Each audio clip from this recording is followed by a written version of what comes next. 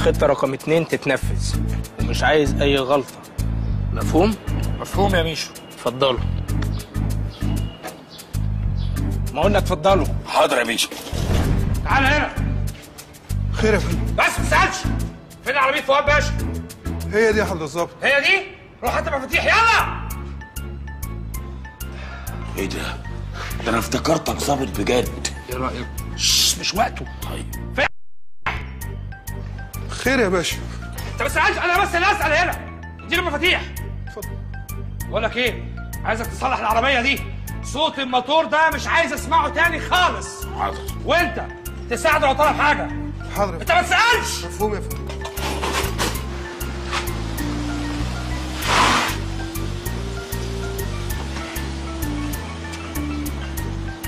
برافو بونبوني.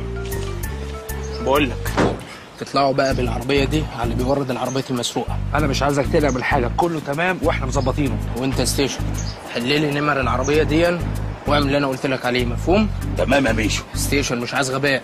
حاضر. يلا. وجب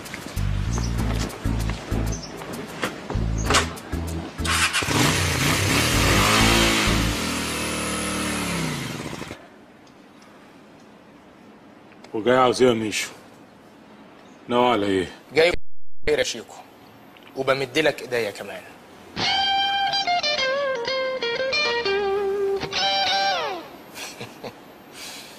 أنت بلغت عليا مرة وأنا بلغت عليك مرة.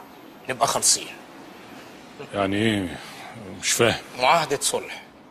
يعني ما حدش فينا يقرب للتاني. لا أنت تخسر ولا نخسر ها؟ قلت إيه؟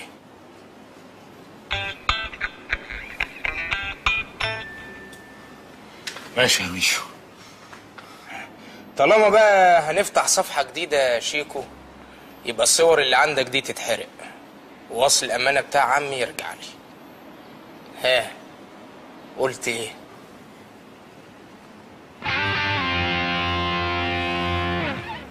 وادي وصل الامانه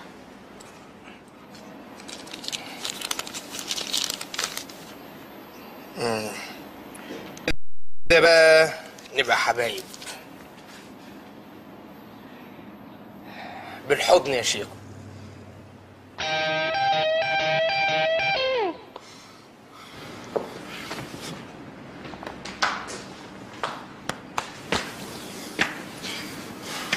طول عمرك راجل يا ميشو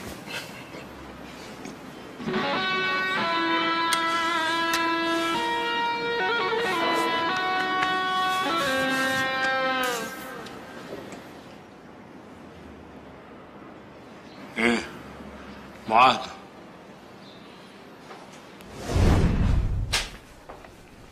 تمام يا فندم. واحد كان ساب سيادتك الهدية دي.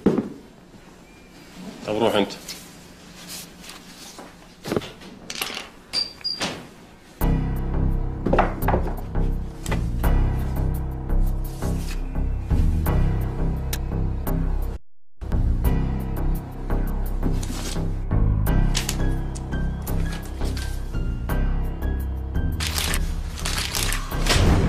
يا باشا أنا البضاعة دي بتجيلي جاهزة.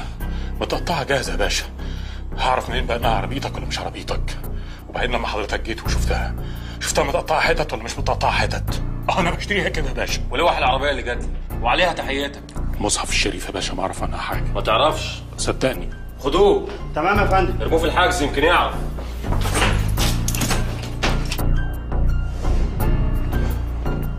بقى معقول عربية فؤاد باشا تتسرق وتتفكك وتتباع للمعلم مغاور اللي طول عمرنا بنتعامل معاه. وبعدين كمان إيه؟ يتبلغ لفؤاد باشا إن عربيته اللي اتسرقت عندنا إحنا. كل ده بالصدفة كده. لا طبعا مش ممكن. واقطع دراعي يا معلم. إن كان ده ملعوب واتعمل فينا. نقط من سكاتك أنت وهو أنا مش ناقصكم. ده كل اللي هممني دلوقتي عايز أعرف مين اللي بيلعب معايا. وبيعمل معايا كده ليه؟ الاكل ده جاي لك يا شيكو. شوف الاكل ده يا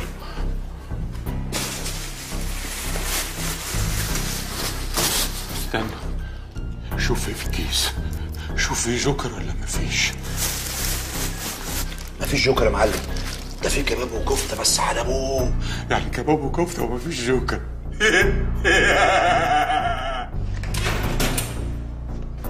الكارت ده كان في الأكل يا شيكو. الكارت ده ما في الأكل ده؟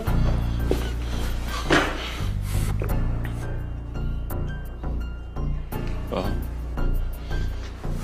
هو الكارت بتاع الأكل. برضه مش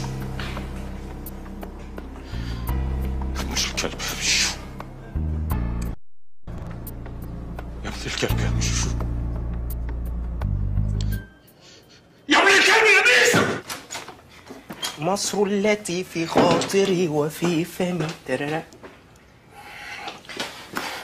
أحبها من كل روحي ودمي. بابا. بابا لو سمحت كنت عايز حضرتك. إيه الإزعاج ده؟ إيه الازعاج ده؟ هو انت لو ما عملتش إزعاج بالليل تتصرف وتعمل إزعاج بالنهار؟ حضرتك صباح الخير على الصبح. وصباح الخير على وشك بأمارة إيه؟ وأنت عمال تك تك تك تك تخبط على دماغي لدرجة إن دماغي وجعتني وزهقت من كتر ما دماغي وجعتني. حضرتك أنا دلوقتي بخبط على باب أوضة بابا علشان أنا عايزه ابنه وعايزه مش بخبط على دماغ حضرتك. يبقى تخبط بالراحة. ما أنتش عايش في البيت هنا لوحدك. حاضر. معاك ناس. حاضر حاضر. بابا. بابا لو سمحت كنت عايز حضرتك افتح. وانت فاكر إن هو بالطريقة دي هيفتح أو يسمعك؟ يعني أعمل لحضرتك إيه كده على السطح الله يعني بخبط بصوت عالي مش نافع. بخبط بهمس برضو مش نافع. أعمل إيه؟ أنت إزاي تكلمني بالطريقة دي؟ هو ده بقى أسلوبي. هو ده أسلوبك؟ أيوه. بتشوح بإيدك كده؟ هو ده أسلوبي. طب تعالى. إيه؟ سيد. لا تعالي. أنا هندهله. سيد يا بابا. سيد. في إيه إيه ده؟ إيه ده؟ في إيه؟ في إيه يا صبورتي على يا سيد الولد دوت مش متربي. والولد ده قليل الأدب. والولد بيرد عليا. إيه ده؟ في راجل في الأوضة؟ يا بابا افتح يا بابا. دخلك جوه. إيه؟ أنا وقعت إيه؟ وعملت إن هو بابا. إيه ده؟ أنت دخلت الأوضة ليه؟ آه دخلت عاوز الأوضة. إيه أنت عملت إيه؟ يا زفت على الصبح. أنا إيه موريش الا انت أنا آسف أنا آسف وهتأسف. لها عدوني. وهات دماغها. اهي ابص هات دماغها. حضرتك هات مش قابلة أسفك ولا طايقه أسمع كلمة منك. أنا زهقت منك. سيد أنا زهقت. أنا آسف يا حبيبتي. أنا زهقت يا سيد. معلش يا حبيبتي. لا. لا أنا أنا آسف. سيبوني لوحدي أنا زهقت. اوعى يا سيد اطلع حاضر، يا بره. نهار أسود. انت مش ناوي تجيبها تبر معايا. عاوز إيه؟ ما انت عاوز إيه؟ عاوز إيه؟ يا بابا هو حضرتك يعني بتعاملني كده ليه؟ هو حضرتك بتحبها أكتر مني يا بابا؟ سؤال غريب ما جاوبش عليه. طبعا بحب أكتر منك أكتر منك بكتير كتير قوي. وأقول لك حاجة هجيب لها هي حلبسة وأنت لا. ماشي يا بابا ماشي خلاص عاوز حاجة بقى؟ لا. ولما هو لا لما هو لا كسرت الباب على دماغي من الصبح ليه؟ آه يعني بقى دلوقتي حضرتك كنت جوه وسامع كل حاجة وما فتحتش إلا لما الست هانم الست زهقانة دي خبطت وزعقت لحضرتك. علي صوتك يا علي علي صوتك أنا آسف. وشوح لي. أنا آسف. في إيه في اللي تقرب أكتر من اللي بتعملها دي؟ أنا آسف. هات ربنا. سامع. ومطنش في حاجة بقى؟ كنت عايز أسأل حضرتك عملت لي إيه في ال 30000 جنيه السلف اللي أنا قلت لك عليهم؟ بصراحة ربنا ما عملتلكش حاجة في 30000 جنيه اللي سألتنا عليهم. ويا ريت تغور من قدامي بقى بدل ما لدعك 30000 قلم على وشك. امشي. أنا ما كنتش متخيل إن بابا يعمل كده. أنت متفاجئ كده ليه؟ ما أنا قايل لك. أبوك ده أنا عارفه وحافظه كويس قوي. طب وبعدين بقى العمل إيه دلوقتي يا عمي؟ ولا أي حاجة. أنت تروح تستلم جايزتك وما تضيعش وقت. إيه ده؟ طب وحضرتك مش هتيجي معايا هيئة الآثار علشان بقى تشوفني وأنا بستلم شهادة التقدير رقم 13 ليا؟ لا روح أنت يا فطين. ما أنا رحت معاك ال 12 مرة اللي فاتت. إيه رأيك تاخد معاك لمياء؟ أهي فرصة تشوف نجاحك واهتمام البلد بيك. والله فكرة يا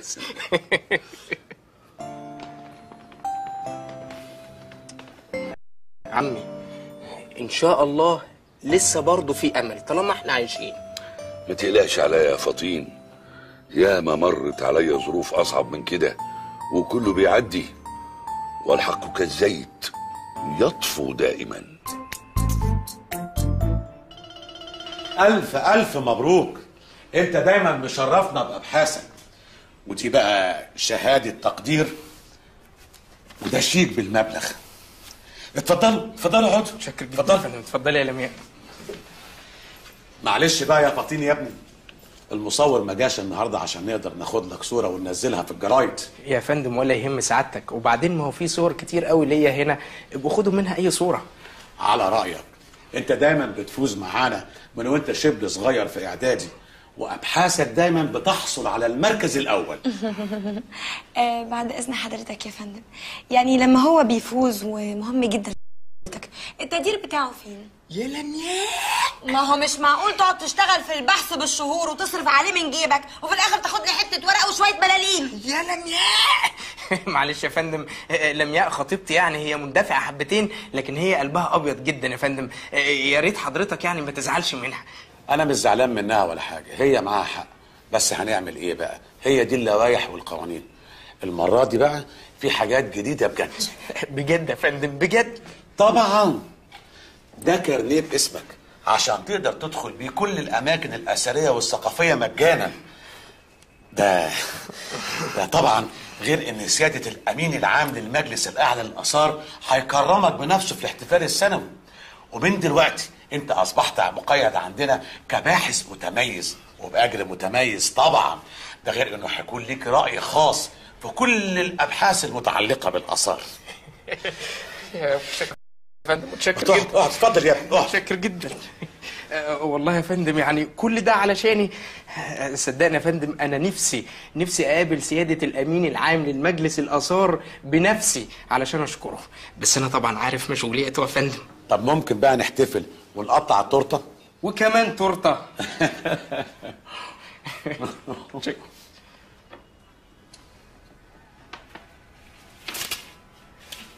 وأكبر من بتاعة السنة اللي فاتت كمان. متشكر جدا يا فندم متشكر. شايفة يا لمياء؟ شايف يا حبيبي مبروك. الله يبارك فيك يا لمياء. ألف ألف مبروك يا فطين يا ابني. الله يبارك في حضرتك يا فندم وإن شاء الله عقبال كل سنة.